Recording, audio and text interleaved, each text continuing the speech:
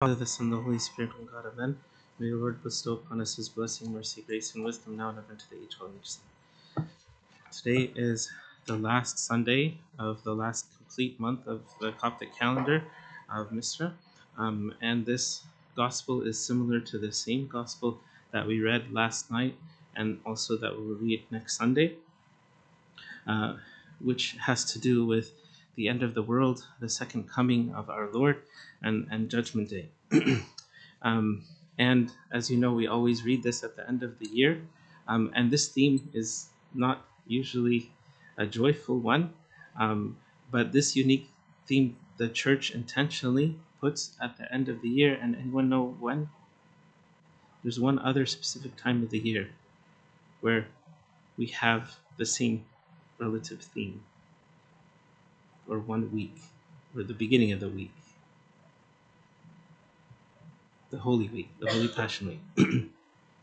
so, yes, it might feel dreary or morbid or depressing to, to, to think about the end of the world um, and also to think, think of uh, death, but the church places it intentionally because there is a benefit for us to um, think and prepare ourselves for uh, these things.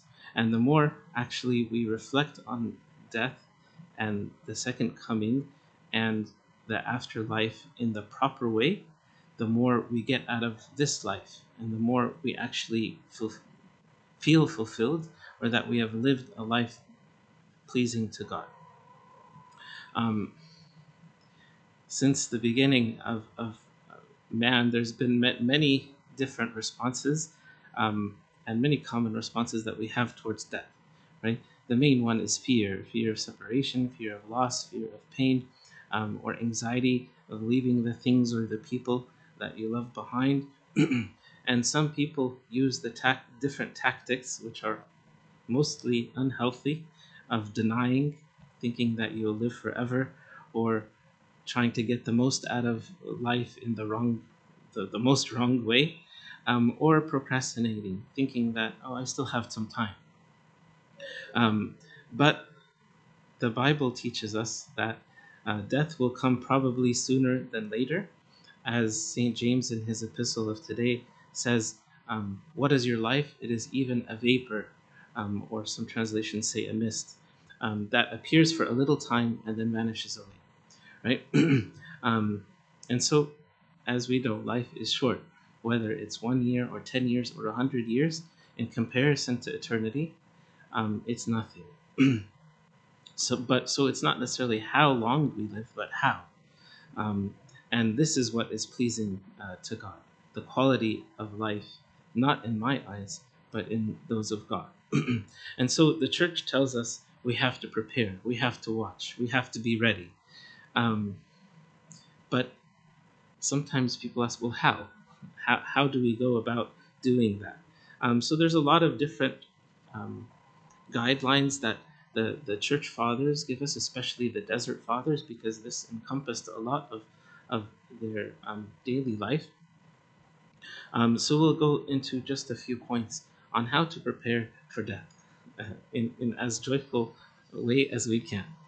Um, so the first thing that we have to do is we have to have the remembrance of death. Um, it, it helps with those who are in denial or procrastinating, the, re- the realization of the fact that you will die, um, which all of us, um, even Enoch and Elijah, the, the great ones who seem to have escaped death um, thousands of years ago, will also come back, according to the book of Revelation, on this earth and experience the taste of death, but for a short time three and a half days, as it says in Revelation. But the, the Holy Scriptures tell us to take it to heart, to have this remembrance um, of, of death and take it to heart, as the book of Ecclesiastes says. And the book of Sirach actually has very uh, clear guidance on this.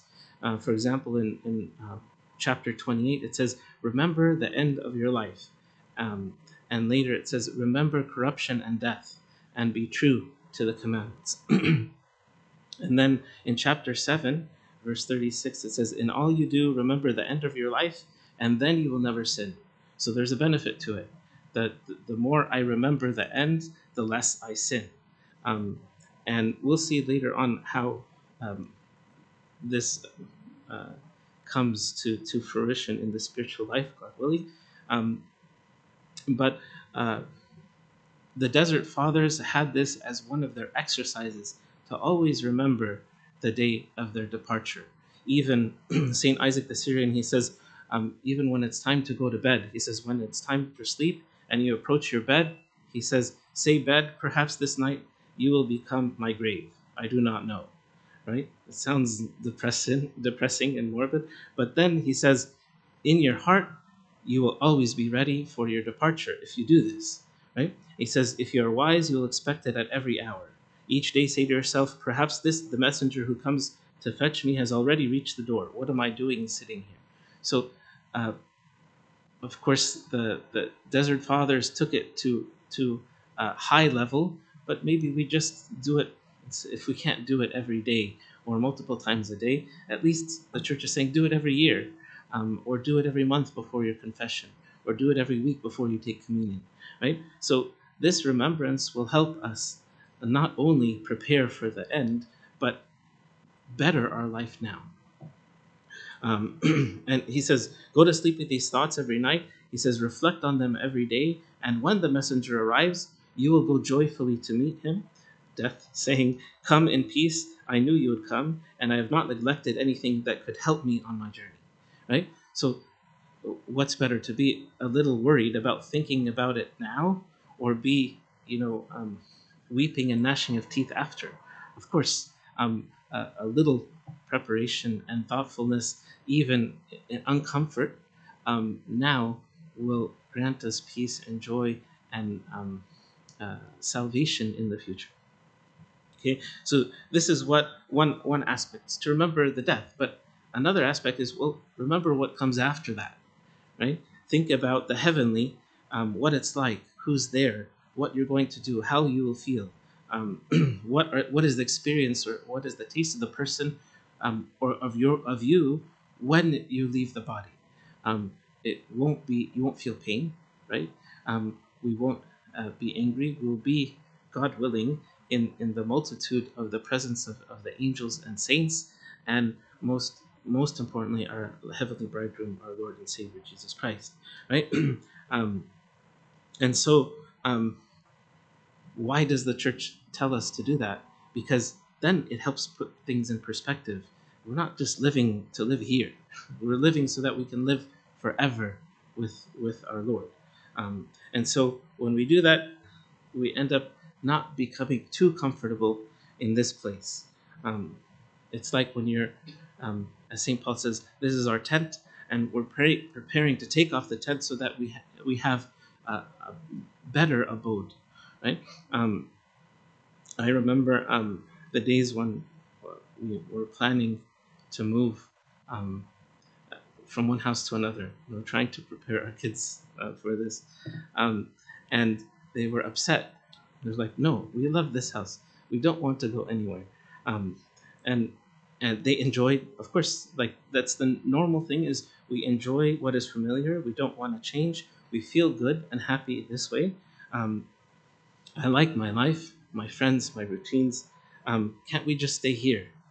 Um, um, I said, well, it's either one or the other. We're not going to have both. We can't. We can't, right? Um, um, and we sold this place so we can buy the other one, right? Our whole life we, we've we've been preparing for you to have a better a, a better place to live, right? Um, and they weren't completely convinced, right? Um, so nostalgia is one thing, but the better living outweighs the other. So um, fortunately, we were able to go and visit the new place and say, look, look how big it is. look how much nicer it's going to be. Imagine your, your room is going to be here instead of, you know, um, the small one that you have now. Um, this is going to be bigger, right? this is going to be better, right? So the same tactic that we, we use in that situation, we have to think the same way. If we think more about heaven and how much better and more fulfilling and more joyful life it's going to be over there, we're not going to be afraid to move. We're going to anticipate it and look forward to it. Um, and so that's the, the the practical next step is that we compare it's okay to compare the two. To compare this life and to compare the next, right? Um, and it's kind of like the same idea of, uh, let's say you go on vacation and you have a wonderful time, and you say, I just want to live here forever. You want to live in that hotel room compared to the, the mansion that you have, uh, which is maybe 10 or 20 or 30, 100 times bigger than, than that little 400 square feet uh, place. Um, so start really comparing the two, right? Um, uh, or it's the same idea as the, the church teaches again, as uh, a woman preparing herself for her wedding, right? She is joyful in anticipating the best day of her life, knowing full well that there will be change. She knows that she's going to have to leave the house of her father and her mother. She knows that she will not spend as much time with her friends as as she did before. Um, there's going to be a change. She may even have to move across the country or to another country, but she's willing to accept all of this. Why? Because of love, because her bridegroom, because this, this was the plan all along. Um, and everyone knew it. Maybe they were, people are in denial about, but it's going to happen. Um, and so, out of extreme love and joy for her husband and a new hope and for a new life with, with him, she accepts all of these small sacrifices compared to the big gains that she will receive. Right? This is how we should feel about death. Um, at least on the mental level. You know, when it comes to the emotional level and the physical, yes, it's difficult. Um, but it, it should be the mental and the spiritual exercise that overcomes these these emotions. Right? As the church says, there's no death but a departure. It's not the end of the story is to move out of your house. No, the end of the story is to go to a bigger and better one, right? Um, it's it's simply a transition from one place to another. Um, it's not an end; it's a new beginning. Um, I, I know we all know these things, but this is why the church says, okay, we have to we have to put things in perspective and remember the goal. The goal is not to live it up here. No, no, it's to prepare for the, the much better place over there. and so we begin to change what we do here in order to have a more blessed and fulfilling life there. Um, uh, and so the Christian sees life and di- death differently, as St. Paul did. He said, What? For me to live is Christ. That's that's a little vague, right? But what he's trying to say is no longer. He said another place in Galatians, um, "It's no longer I who live, but uh, Christ who lives in me. So the one who gave me life and he was offering me eternal life, this is my purpose. This is the one who I put everything into perspective. Um, and how did he, okay, so if, if to live is Christ, then what about death? He said to die is what? Gain. It's a benefit. Why? Because I get closer to Christ. I, I become more one with him compared to it's it's the difference between engagement and the wedding or the, the marriage that after that right what's better of course marriage right um, so the same idea. Imagine someone who just want oh, let's just stay engaged for the rest of our life. Say i would no thank you. Um, i'll find someone else. Right? The purpose is not just to be engaged right? This is the engagement period. Um, it's nice but there's something much better. Um, And so, the more we reflect on the death and the afterlife, the more we're able to put things in the proper perspective and priorities. We, uh, like um, the bride who's preparing for her wedding, or the student who's preparing for that final exam, has to make some sacrifices. Um, why? In order to have uh, success and, and fruitfulness. Um, and so, um, uh, if we pour out all of our years focusing on anything or anyone more than Christ um, and the kingdom of the Lord, we will be empty and disappointed and hurt and might not even attain uh, that thing, right? So sometimes people put others um, whom they love at higher purport, priority than the Lord, right? What happens if, if, if something happens to them or your relationship with them it gets sour or God forbid God takes them away early? Then how are you going to feel? miserable, right? And you, you invested all that doesn't mean we don't love people and, and enjoy the, the, the fellowship that we have here on this earth, but it has to be put in perspective with our heavenly bridegroom, right? If if we love that person, then God takes them. Oh, at least they're with the bridegroom now, right? Uh, that gives some sort of consolation uh, to us. so whatever we put at higher priority than than our Lord, um, or than the kingdom, um, take care, because if and when you lose that thing, because all of these things of the world are temporary, um, then then what? So that's why we, we have to remember what comes after, right? Um, as Saint uh, the Lord says in the Gospel according to Saint Matthew, He says, "What does it profit a man if he gains the whole world?" Uh, let's say you were uh, ri- so rich and famous and powerful that you attained the whole the whole world. You were in charge. You were the, the, the emperor of, of the world. Uh, it's probably never happened really, um, but let's just say it did. Even if you if even if that happened, uh, sorry, um, it, it, it will be short lived based on even your life, and I guarantee you, you wouldn't be happy. You wouldn't. You wouldn't. Um, there's so many people, so many stories of people who get rich and famous and wealthy and powerful, and there's they're empty inside, right? Um, so th- there's a story I was reading the other day about um, an atheist uh, mother who came and had her daughter baptized, and the priest asked, well, "Why? Why? You don't be?" He's like, "I live my life and I'm empty. I don't want this for my child." Right? So um, we have to remind ourselves, as, as the Lord says, what profit is it if you gain now all of these things that you are focusing on, but you lose your salvation, you lose your kingdom, you lose your bridegroom? Um, uh, that will not be a, a pleasant situation. To, but everything we do now affects where we will go later, right? Um, and so when I remember where I'm going to go later, then I change what I do now, whether intentionally or unintentionally. Um, it just it's a byproduct of the contemplation of death and the kingdom. and so um, I begin to live more carefully, more wisely, and more purposefully when I put heaven in the, the, the forefront of, of my thoughts. Um, what else do ends up happening?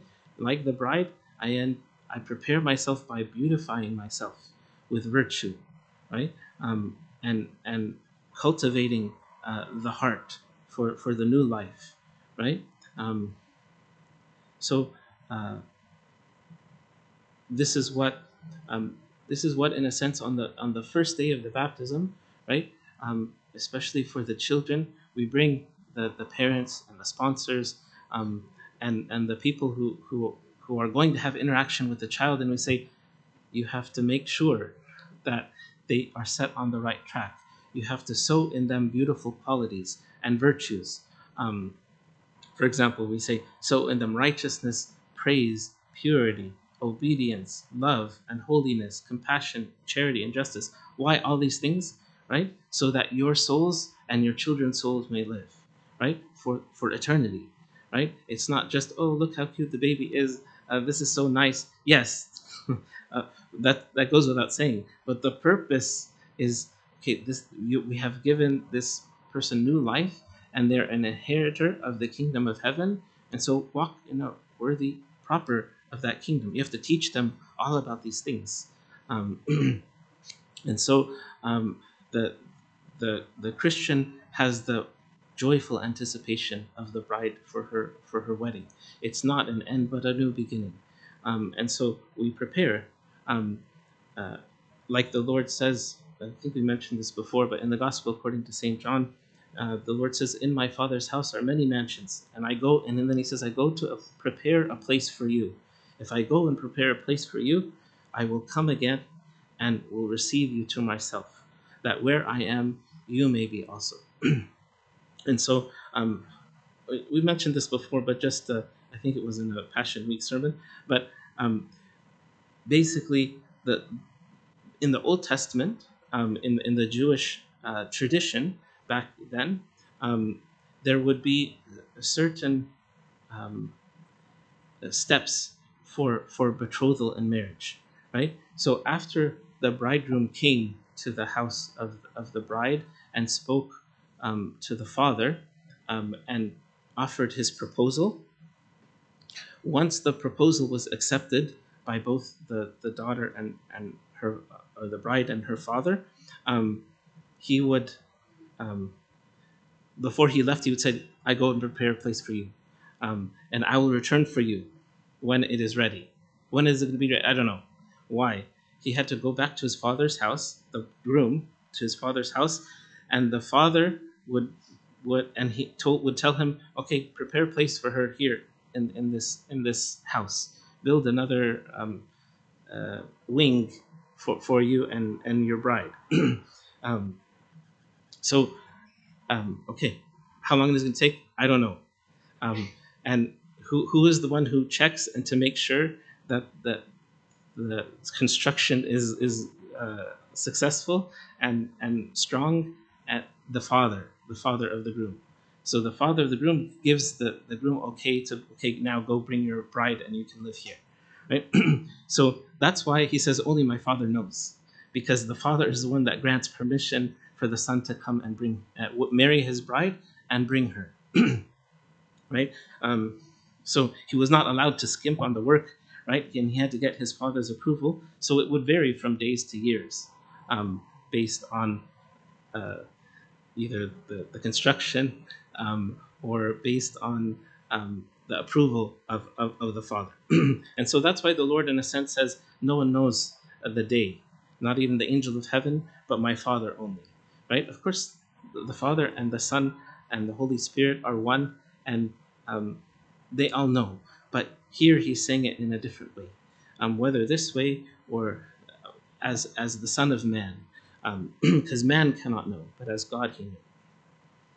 Um, so to, to conclude, um, we see that um, our responsibility is, is to think about our life now, to contemplate about the day of our death, and to go deeper into what happens after that um, with the kingdom of heaven, God willing, and to prepare ourselves for, for that. This is this is what I think the purpose of these next two weeks are in the church because sometimes in the secular new year we, we just say oh let's hope to have a better year next year than this year but the church says no no let's evaluate what happened last year um, so that we can modify and correct and better than, so it's not by chance um, or rejoicing that a new year has come but we have to it's on us um, to make sure we're living a life proper and pleasing uh, to God, that we may hear the joyful voice saying, Well done, good and faithful servant. You are faithful over a few things. I'll make you ruler over many things. Enter into the joy of your Lord, and glory be to him now and from